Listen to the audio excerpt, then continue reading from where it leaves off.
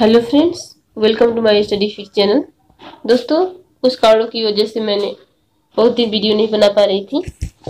दोस्तों, आज का टॉपिक है प्रक्षेपण, यानी प्रोजेक्टाइल ठीक है? दोस्तों प्रोजेक्टाइल के अंतर्गत यह अध्ययन किया जाता है कि किसी वस्तु को, जैसे कि साटपुट हो गया जेवलिन डिस्कस इन सबको किस कोण पर फेंका जाए कि वह अधिकतम दूरी तय करे। ठीक है? इसी का ज्ञान प्रोजेक्टाइल यानी प्रक्षेपण के अंतर्गत किया जाता है। यानी क्या समझे?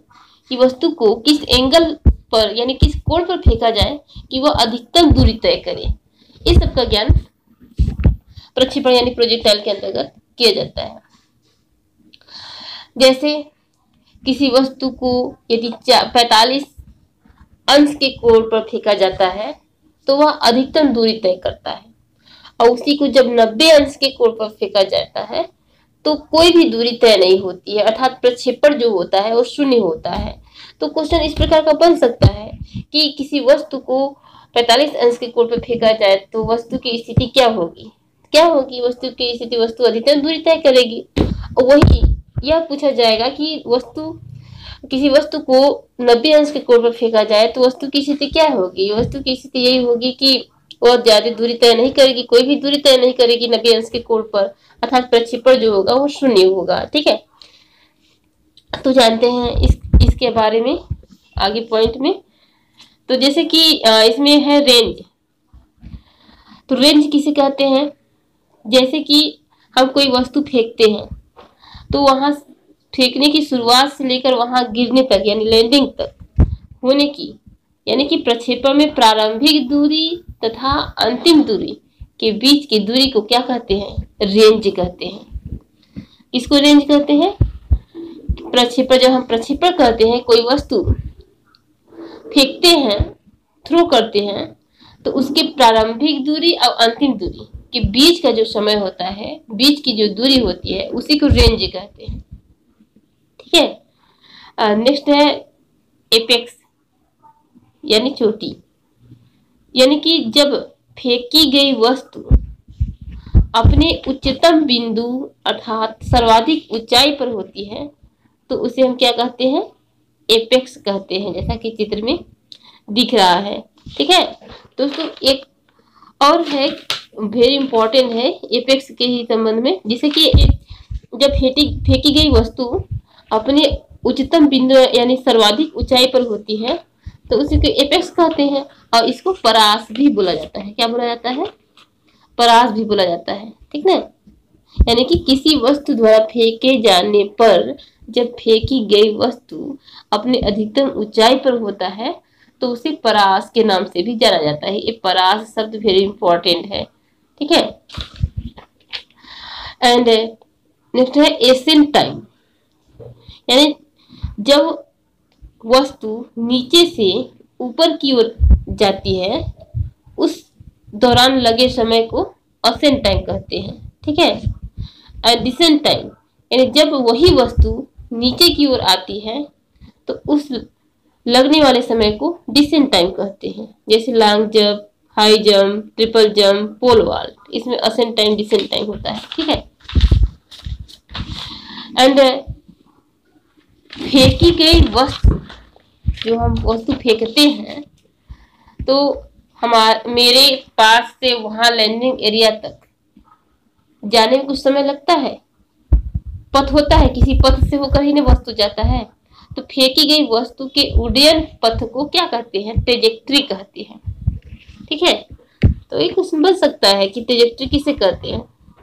तो किसी फेंकी गई वस्तु के उड्डयन पथ को ट्रेजेक्ट्री कहते हैं। जिस पथ से वस्तु, जैसे हम कोई वस्तु फेंके तो किसी पथ से होते हुए वो जा करके अंतिम बिंदु पर गिरेगी।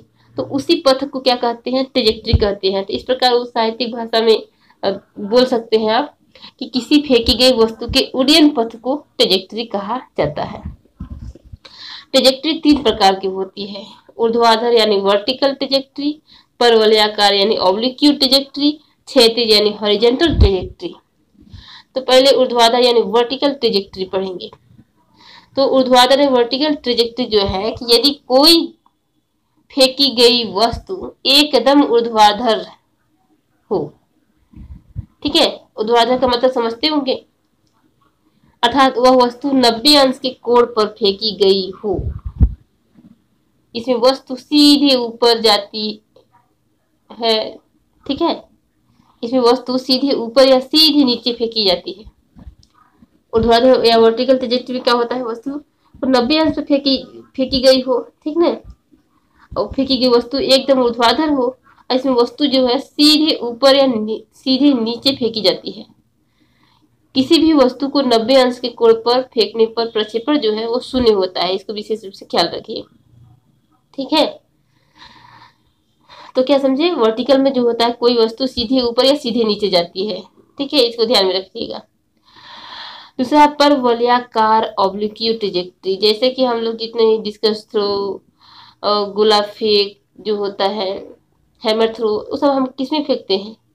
पर वलयाकार में फेंकते हैं। जैसे कि यदि प्रक्षेपण का कोण परवलयाकार हो तो उसे हम परवलयाकार यदि ओब्लिक्यू ट्रेजेक्ट्री कहते हैं, जैसे कि इसको 45 अंश पर कहा जाता है, ठीक है?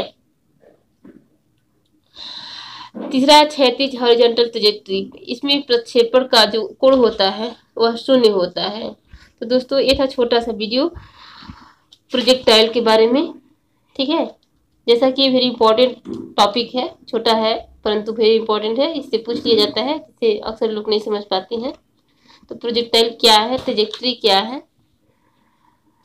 ये कुछ वेरी इंपॉर्टेंट टॉपिक टॉपिक जो आपके एग्ज़ाम पॉइंट के लिए वेरी इंपॉर्टेंट था, उसको मैंने इसमें बताया है। और किसी भी अनावश्यक चीज़ को इसमें ऐड नहीं किया है। जितने भी मैं टॉपिक बताई हूँ वेरी इंपॉर्टेंट है। तो दोस्तों, ये वीडियो आपको कैसा लगा मुझे कमेंट में ज़रूर बताइए। फ़िज़िकल एजुकेशन के ऐसे ही टॉपिक में लाती रहूँगी, जो आपके एग्ज़ाम के लिए वेरी इंपॉर्टेंट होगा। तो दोस्तों, यदि आप पहले बार चैनल पर विज़िट कर रहे हैं तो चैनल को सब्सक्राइब कर लीजिए और ऐसे ही वीडियो आगे पाने के लिए बेल आइकन को ज़रूर प्रेस कर लीजिए, जिससे जो भी मैं नया वीडियो अपलोड करूँ, उसका नोटिफिकेशन सबसे पहले आपके पास पहुँचे। तो मिलते हैं नेक्स्ट वीडियो में, तब तक के लिए जय हिंद।